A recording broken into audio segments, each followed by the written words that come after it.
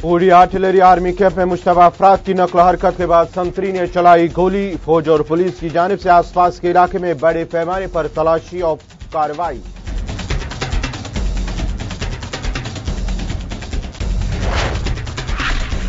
پونچھ میں پاک بھارت افواج کے درمیان ایک بار پھر گولہ باری کا تبادلہ۔ سرحد کے نزدیک رہائش پذیر لوگوں میں خوف دہشت۔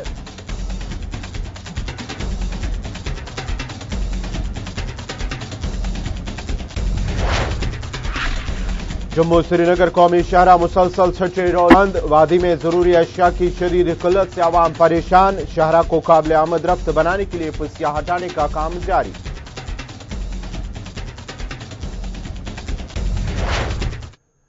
آداب ناظرین، آپ دیکھ رہے ہیں گلستان نیوز۔ ابھی تک کا اردو خبر نامہ لے کر میں آپ کا میزبان گوہر کچھ آپ کی خدمت میں حاضر۔ پیش ہے خبروں کی تفصیل۔ سب سے پہلے شمالی کشمیر۔ شمالی کشمیر کے اوری بارہ ملا میں آرمی کے آرٹلری کیمپ کے آس پاس کے علاقے کو فورسز نے محاصرے میں لے کر تلاشی کارروائی شروع کی۔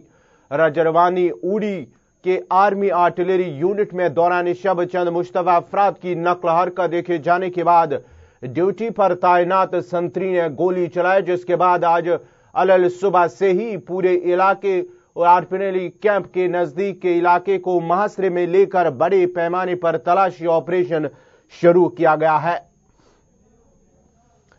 مزید تفصیلات کے لیے سیدھا چلتے ہیں۔ ہمارے سینئر ساتھی ہلال ہانجوری کے پاس۔ ہلال، کیا کچھ تازہ اپڈیٹ ہیں؟ اس حوالے سے آج صبح جو مشتبہ افراد کی تلاشی حرکت کے بعد ہی وہاں پہ تلاشی آپریشن شروع کیا گیا ہے۔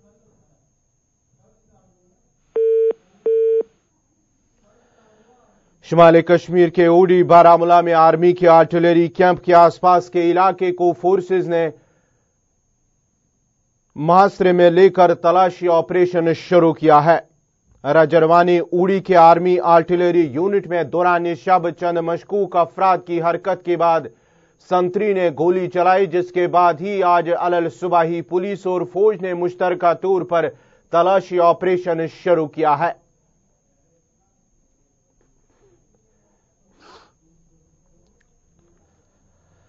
شمال کشمیر کے اوڑی بارامولہ میں آرمی کے آرٹلری کیمپ کے آس پاس کے علاقے کو فورسز نے محاصرے میں لے کر تلاشی آپریشن شروع کیا ہے۔ راجنواری اوڑی کے آرمی آرٹلری یونٹ میں دوران شب مشتبہ افراد کی نقل حرکت دیکھے جانے کے بعد ڈیوٹی پر تعینات، سنتری نے گولی چلائی، جس کے بعد ہی پولیس اور فوج نے آج الل صبح سے ہی پورے علاقے کو محاصرے میں لے کر بڑے پیمانے پر تلاشی آپریشن شروع کیا ہے۔ آرٹیلری آرمی یونٹ کے نزدیک نالے کے پاس مشتبہ افراد کی نقل حرکت کے بعد فورسز نے پورے علاقے کو محاصرے میں لے کر تلاشی آپریشن شروع کیا ہے۔ مزید تفصیلات کے لیے سیدھا چلتے ہیں ہلال ہانجری کے پاس۔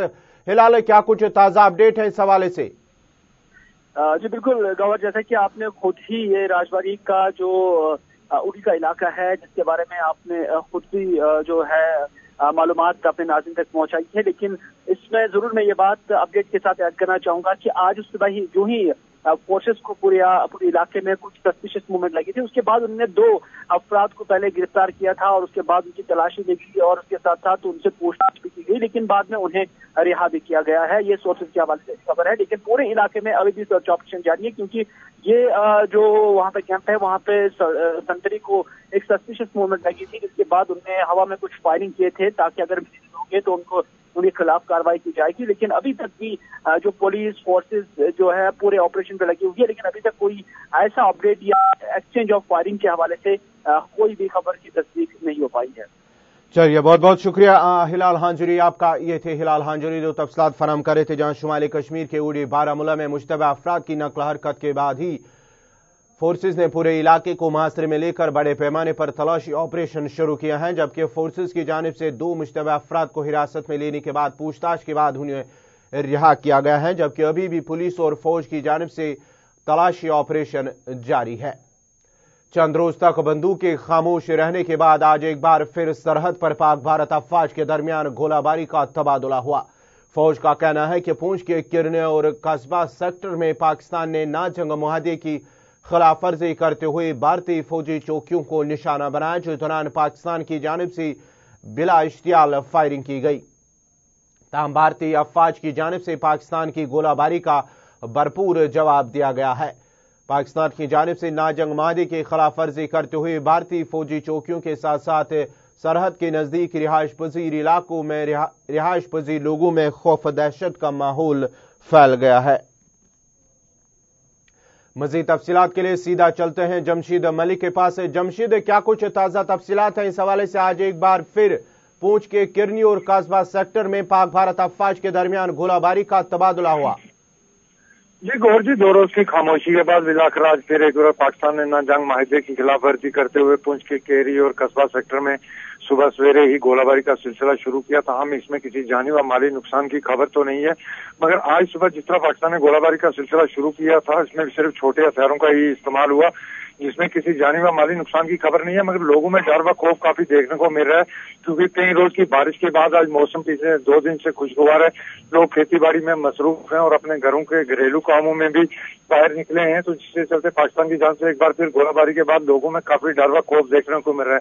کیونکہ دو روز قبل بھی ہم نے دیکھا تھا، پاکستان کی جان سے گولہ باری شارا سیکٹر میں بھی گولہ باری کی گئی تھی۔ اس کے بعد ایک سنائپر شاٹ بھی ہوا تھا، جس میں فوجی اہلکار زخمی بھی ہوا تھا، مگر آج صبح پاکستان کی جانب سے ایک بار پونچھ سیکٹر میں گولہ باری کا سلسلہ شروع ہوا، جس سے لوگوں میں ڈر و خوف کافی دیکھنے کو مل رہا ہے مگر جس طرح کے حالات دو ہزار انیس میں لگ رہے ہیں، لگاتار ہی، کیونکہ دو ہزار انیس کے آزاد کے ساتھ ہی پہلے روز سے ہی پاکستان نے نا جنگ معاہدے کی خلاف ورزی شروع کی ہے، جو لگاتار دوسرے مہینے بھی جاری ہے۔ جی۔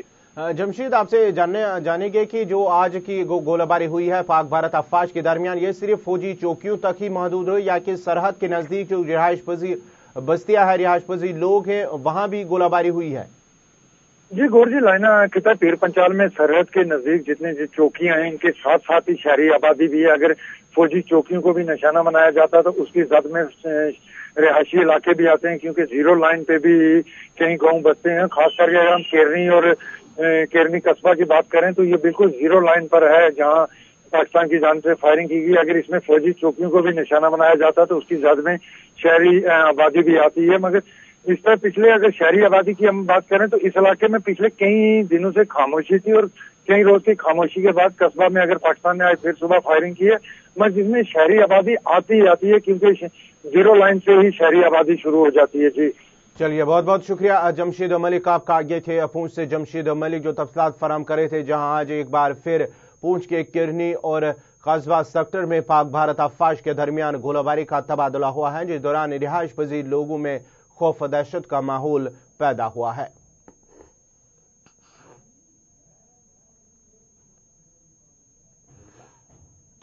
جموں سری نگر قومی شہرہ پر مختلف مقامات پر نزدیکی پہاڑی سے بھارے پسیاں اور پتھر گرانے کے نتیجے میں جموں سری نگر قومی شہرہ آج چھٹے روز بھی گاڑیوں کی آمد رفت کے لیے بند رہی۔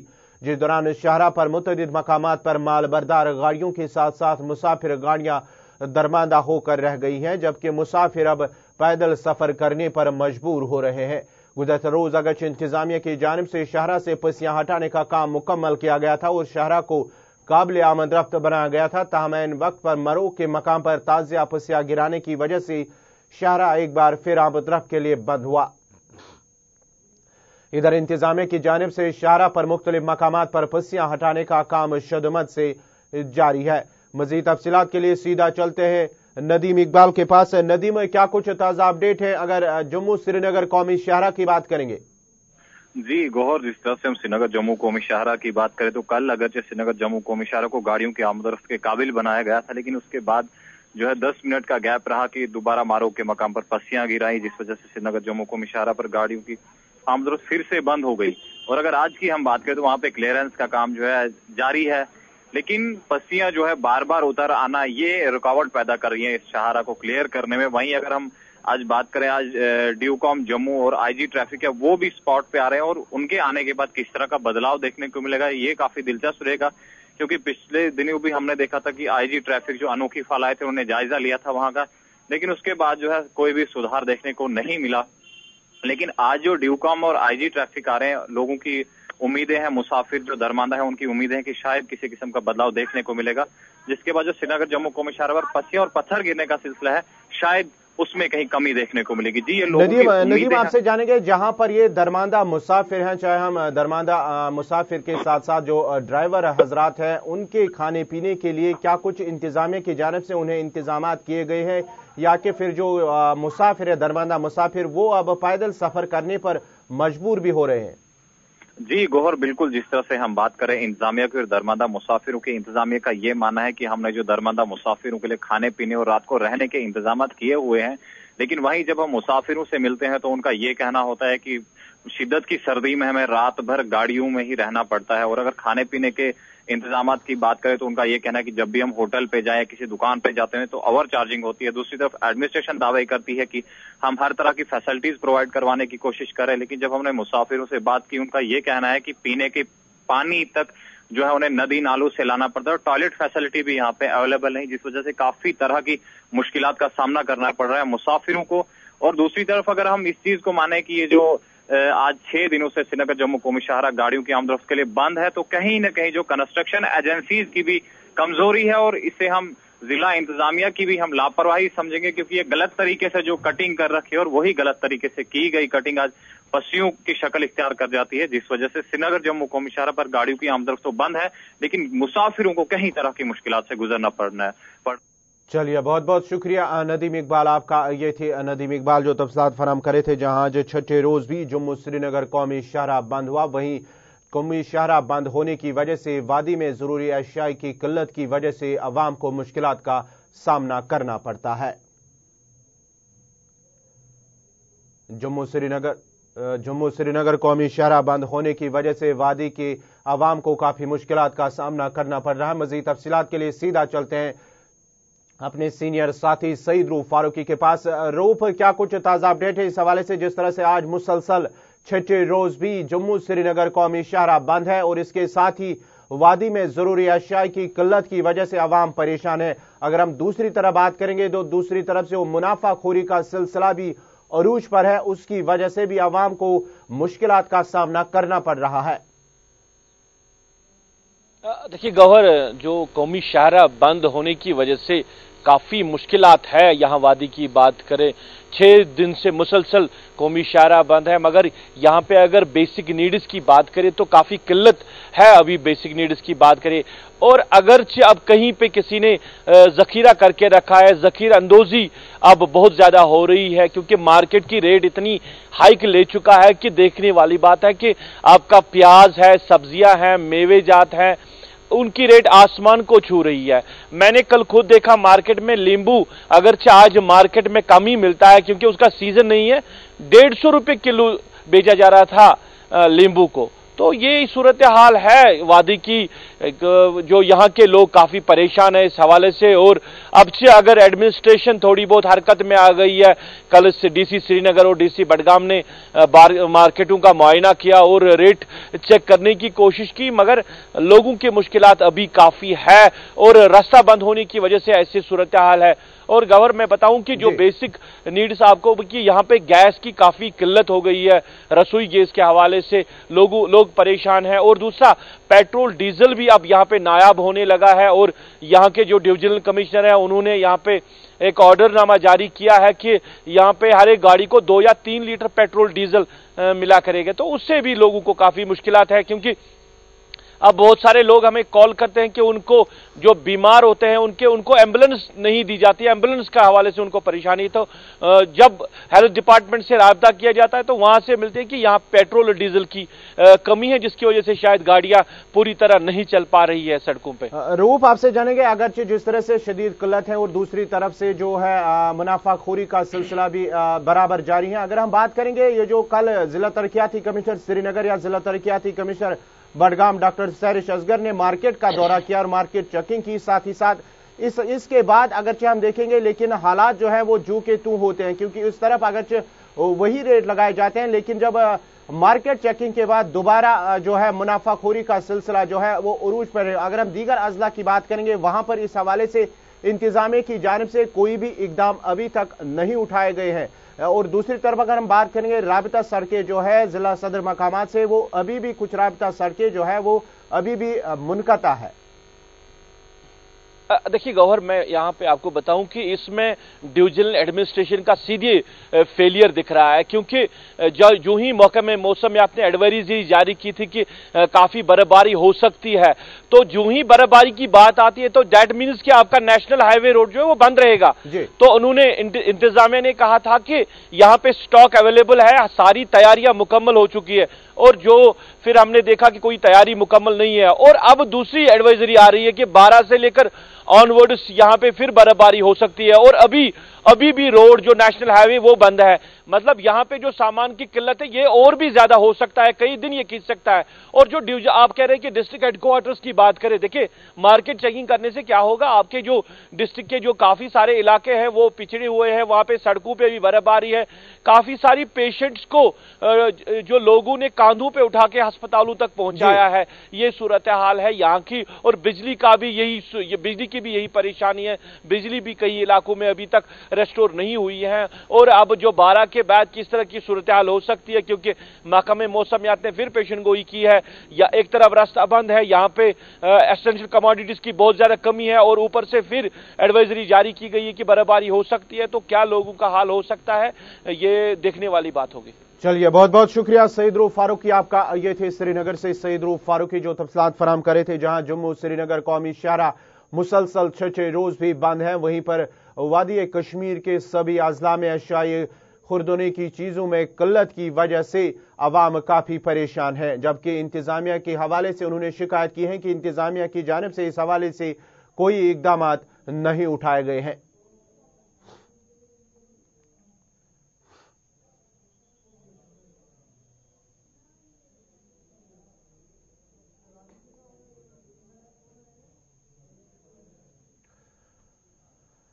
مقبول بٹ کی پینتیسویں برسی کے موقع پر آج حریت کی جانب سے کشمیر بند کی کال دی گئی ہے جس دوران وادی کے سبھی اضلاع میں کاروباری ادارے بند رہنے کے ساتھ ساتھ سڑکوں پر گاڑیوں کی آواجاہی بھی متاثر رہی۔ انتظامیہ نے کال کے پیش نظر کئی حساس مقامات پر سیکیورٹی کی اضافی نفری کو تعینات کیا ہے، جبکہ اہم رابطہ سڑکوں کو خاردار تاروں سے بند کر دیا گیا ہے۔ حریت کی کال کے پیش نظر انتظامیہ کی جانب سے سبھی حریت لیڈران کو خانہ نظر بند رکھا گیا ہے۔ دراج مقبول بٹ کے غر میں ایک خصوصی تعزیتی تقریب کا اہتمام کیا جا رہا ہے، جس دوران ان کے مزار پر حاضری دی کر ان کی انہیں خراج عقیدت پیش کیا جائے گا۔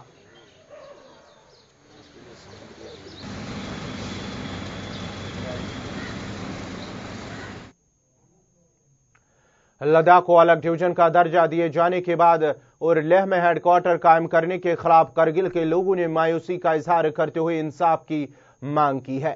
کرگل میں جہاں کل سبھی سیاسی، مذہبی اور سماجی جماعتوں کی طرف سے احتجاج کی کال دی گئی تھی، جس دوران لوگ گورنر سے فیصلے پر نظر ثانی کی اپیل کر رہے تھے کہ لداخ خطے میں صوبائی ہیڈ کوارٹر کو باری باری بنیاد پر گرمیوں کے چھ ماہ کے دوران کرگل اور چھ ماہ سردیوں کے دوران لے اضلاع میں مقرر کیا جائے تاکہ اس طرح کسی ضلع کے ساتھ امتیازی سلوک نہ ہو، وہیں پر آج کرگل میں بند کی کال دی گئی ہے، جبکہ طلبہ کی جانب سے احتجاج کی کال دی گئی اور اس سلسلے میں جموں میں بھی کرگل کے طلباء کی طرف سے احتجاج کی کال دی گئی ہے۔ مزید تفصیلات کے لیے سیدھا چلتے ہیں کرگل جہاں اس وقت ہمارے ساتھ ہیں سینئر صحافی سجاد کرگلی سجاد صاحب، آپ سے جانیں گے جس طرح سے کل بھی وہاں پہ احتجاجی، احتجاج کیا گیا ہے کرگل کے حوالے سے، جس طرح سے ان کی مانگ ہے اور آج بھی کرگل میں بند کی کال دی گئی ہے اور ساتھ ہی ساتھ جموں میں بھی آج طلبہ کی طرف سے احتجاج کی کال دی گئی ہے۔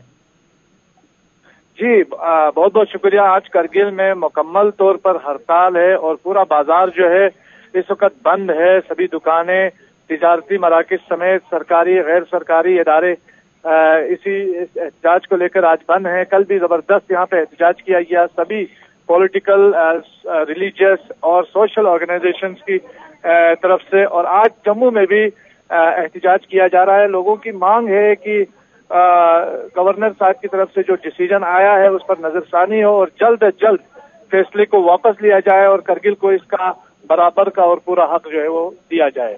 سجا صاحب، کل آپ نے جو کل جہاں پر کرگل کے لوگوں نے وہاں احتجاج کیا اور ایک میمورینڈم بھی پیش کیا ہے، کیا کچھ تھا اس میمورینڈم نے جس طرح سے کل سبھی سیاسی، مذہبی اور سماجی جماعتوں کے لیڈران نے کل احتجاج کیا تھا؟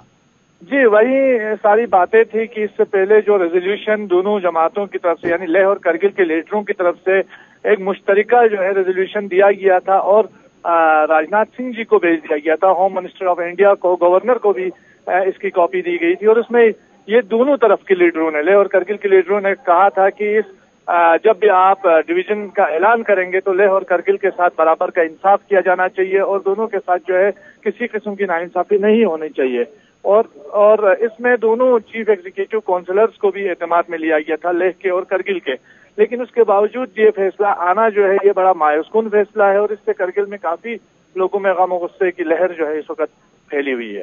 چلیے، بہت بہت شکریہ سجاد صاحب، آپ کا یہ تھے سجاد کرگلی، سینئر صاحب ہی جو تبصرات فراہم کرے جہاں کرگل کے لوگوں نے آج ہڑتال کی کال بند کی کال دی ہے، وہیں پر جموں میں بھی طلبہ نے احتجاجی کال دی ہے۔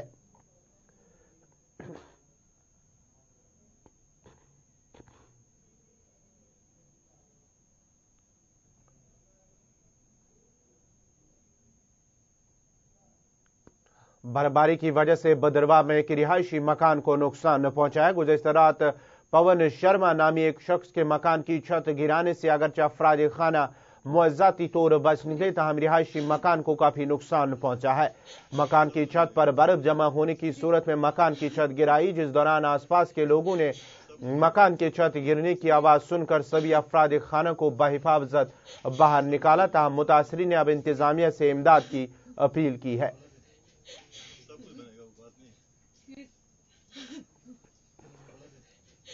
سب کچھ بنے گا وہ بات نہیں سب کچھ بنے گا وہ بات نہیں ہم کھانا شانا کھا کے کمرے میں گئے ویسے اوپر سے گرنا شروع ہو گیا۔ میں نے ان کو بولا برف اٹھاتے اوپر سے بولتے میرا بہت وزن ہے۔ تو ویسے ہم جب تک اٹھے تب تک یہ چلا گیا۔ اور ہم ایسے رہ گئے اندر ہی۔ بچہ بڑے مشکل سے نکالا۔ ہم ادھر سے گر بھی گئے نیچے کے لیے۔ مجھے پریشن ہوئے، ابھی بس تین مہینے ہوئے۔ ہم برباد ہو گئے۔ تو رات کو جب ہم نے برف لگی تھی، کوئی ساڑھے سات بجے کے قریب، تو ایک دم مکان میں تھوڑی سی آواز آئی۔ تو اس کے جیسے آواز آنے پہ تھوڑا دل ڈر ہی گیا، بچہ بھی تھا ساتھ میں۔ تو جیسے اٹھنے کی کوشش کی، ویسے مکان گر گیا۔ میں شکر اوپر والے کا کہ بچہ بچا دیا ہم نے۔ اور گرتے ہوئے ہم یہاں سے نکلے، کچھ اپنے محلے دار پڑوسیوں نے بھی مدد کی۔ پکڑ کے برف سے باہر نکالا، جسے ہم سہمت ہے کہ انہوں نے مدد کی۔ یہی ہے کہ اب سرکار سے یہ نویدن ہے کہ کچھ ہم غریبوں کے بارے میں بھی سوچیں۔ پورا پانی اندر ہے اور پوری باغیں ہماری برباد ہو چکی ہیں اور لوگوں کے پاس راشن نہیں ہے، کچھ نہیں ہے اور نہ تین دن سے لائٹ ہے۔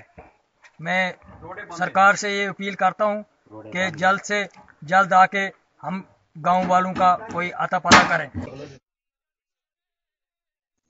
شفیاں کے لوگوں نے ضلع انتظامیہ کے خلاف ناراضگی کا اظہار کرتے ہوئے کہا کہ پچھلی چار روز سے ضلع انتظامیہ کی جانب سے شفیاں کی اہم رابطہ سڑکوں سے برف نہیں ہٹائی گئی، جبکہ اسپتال کی اور جانے والی اہم رابطہ سڑک پر بھی برف پڑی ہوئی ہے، جس کی وجہ سے مریضوں کو چلنے پھرنے میں کافی مشکلات کا سامنا کرنا پڑتا ہے۔ لوگوں کا کہنا تھا کہ اگرچہ انتظامیہ کے نوٹس میں بھی لایا گیا کہ رابطہ سڑکوں سے برف ہٹائی جائے، تاہم ابھی تک کوئی قدم نہیں اٹھایا گیا۔ انہوں نے اب ضلع ترقیاتی کمشنر شفیاں سے اپیل کی ہے کہ رابطہ سڑکوں سے برف ہٹانے کے حوالے سے سنجیدہ اقدام اٹھائے جائے تاکہ عوام کی مشکلات دور ہو سکے۔